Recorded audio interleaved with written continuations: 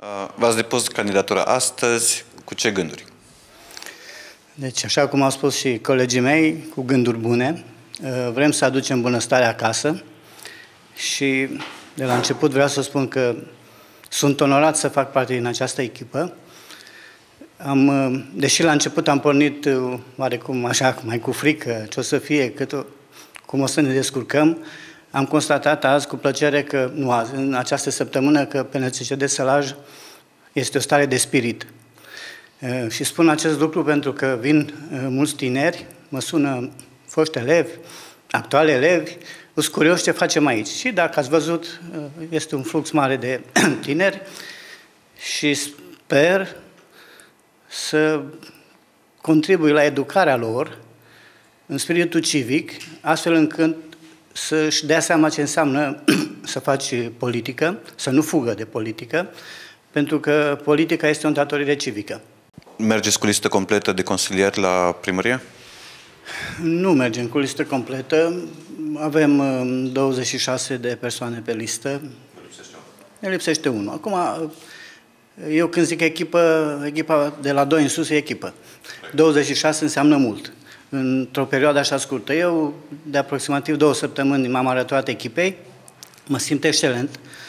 Uh, starea mea s-a îmbunătățit, uh, încrezător că vom face lucruri bune.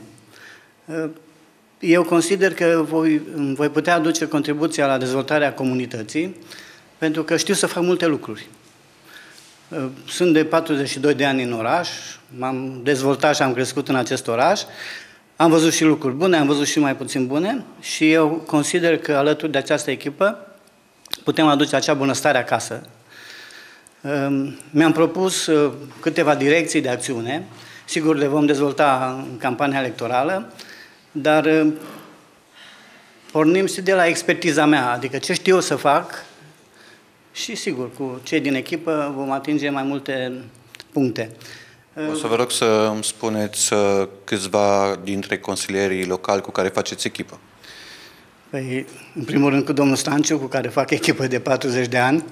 Uh, noi am fost sportivi de performanță și suntem porniți să dezvoltăm și să ajutăm sportul în sălaș, pentru că în momentul de față uh, tinerii nu sunt sprijiniți să facă sport, nici nu sunt încurajați.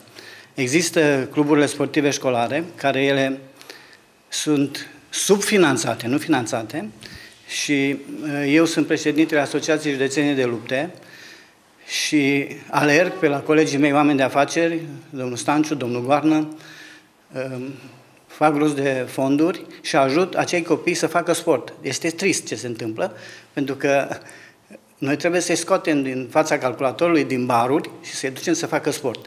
Și atât timp cât statul și autoritățile locale nu se interesează de acei tineri, este trist. Și eu mi-am propus ca uh, un plan de acțiune pe, acest, uh, pe această direcție, deci să dezvoltăm și să sprijinim sportul pentru tineri în salaj. Înțeles. Uh, vreau să îmi spuneți uh, un singur proiect major care vă diferențiază față de contracandidați. Uh, eu zic așa, voi transforma școlile din Zalău în școli smart. Uh, cred că sunt cel mai în măsură să fac acest lucru pentru că știu ce înseamnă. Ceilalți nu cred că știu ce înseamnă. Dezvoltați un pic când știți ce înseamnă, ce ați făcut practic în acest sens ca să ne dăm seama unde vreți să ajungeți.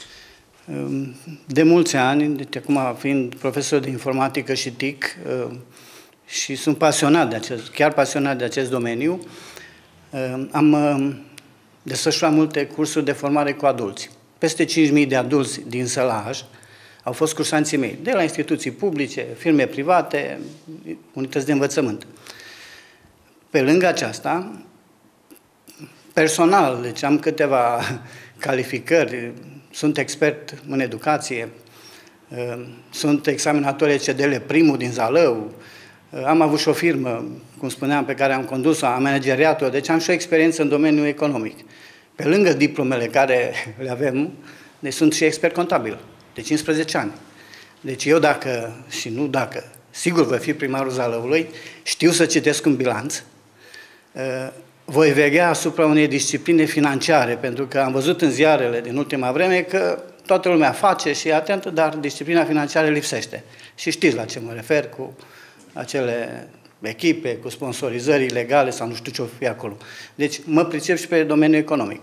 Și atunci eu zic că alături de această echipă, sub o coordonare atentă a domnului europarlamentar Cristian Terheș, de la care învățăm multe, eu cel puțin am învățat multe în ultimele două săptămâni, vom reuși să facem o altfel de politică, o politică transparentă și pentru cetățeni, pentru zăloane. Uh, ce v-a convins să candidați din partea PNC? Acum, uh, vreau să spun că eu sunt un om de dreapta. Am avut o trecere și pe la PDL, dar eu am candidat în 2004 uh, de la Acțiunea Populară a lui Emil Constantinescu. În 2012 am candidat la PNCCD și la Consiliul Județean și la Consiliul Județean și Consiliul Local. Și am văzut această echipă care vor să readucă PNCCD-ul acolo unde este locul pe scena politică. Și, sigur, sunt convins că vom reuși. Așa cum spuneam la început, PNCCD-ul a devenit o stare de spirit și o să vedeți că lucrurile... O să fim surpriza acestor alegeri. Spuneați că de două săptămâni ați venit în PNCCD. Dumneavoastră ați format echipa de la uh, Consiliul Local sau ați găsit deja o echipă formată care vi s-a propus? Nu pot să spun că am format-o singur. Noi ne consultăm, dacă ați observat, aici e lumină în fiecare seară până târziu, analizăm, avem și oarece experiență în a recruta oamenii, deci și științific, avem și studii în domeniu și împreună cu echipa, cu domnul Stanciu, cu alți colegi de partid, am reușit să facem o echipă bună. Deci nu pot să spun că eu am, dar am contribuit și... În ce măsură o să aveți deschiderea de a comunica cu cetățenii atunci când aceștia vin cu o grămadă de petiții? Acum, uh, petițiile sunt uh, acte ale cetățenilor, dreptul lor de a face petiții. Uh, sigur că într-o funcție administrativă trebuie să ai specialiști, trebuie să ai consultanți, pentru că nu poți să le știi pe toate și vom încerca să rezolvăm problemele cetățenilor. Am o idee legată de cum se administrează cartierele Zalăului.